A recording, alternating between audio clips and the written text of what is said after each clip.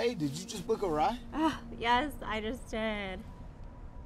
I was just right around the corner and I just got your notification.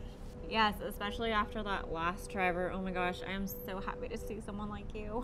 Oh my gosh, well, I'm sorry to hear about that. Uh, it's kind of cold outside. You want to come on in and tell me about the last ride? Sounds good.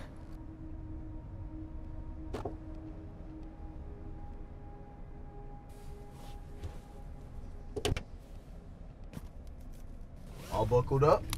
Yep, I'm good to go. All right, let's get you home safe and sound.